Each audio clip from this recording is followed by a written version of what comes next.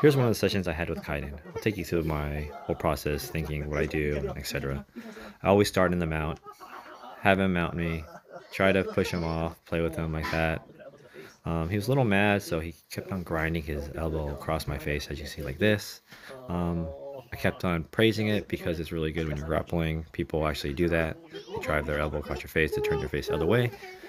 Um, then he rolls over, jumps over. I start playing the triangle stuff with him again. So I always do this just because I wanted to get used to it.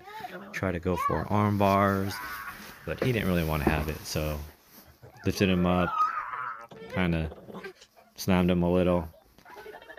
Continued to play with him, tickle him, just kind of getting into it. Uh, sometimes I throw leg locks, stuff like that, just different submissions for myself, just so I get used to the motions for myself. Right here, I take his back, hold him a little, um, hug him because I'm because he's my son, obviously. Make him move around, put him my butterfly, put in a one hook butterfly, kind of sweep him over. I'm in his guard, moving his legs around, getting him used to, putting his feet on my chest, kick me away, mount him right here. Try to act like I'm choking him, see how he reacts, moves around, gets he gets legs back out, puts him on my, my stomach. Then he, I put him on my back right here, and I'm gonna try to do some back control with him.